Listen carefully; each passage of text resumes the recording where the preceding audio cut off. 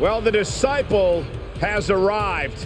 One of the most dynamic athletes in WWE, now under the learning tree of the Messiah. The following contest is scheduled for one fall. Making his way to the ring from Melbourne, Australia, weighing in at 213 pounds!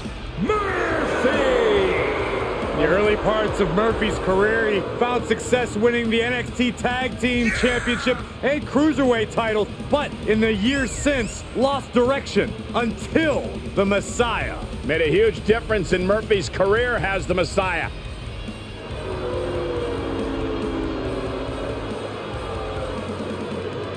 Formerly known as the best kept secret, Murphy now a proud and willing prophet spreading the word of the Messiah, Seth Rollins. Murphy is a completely changed man.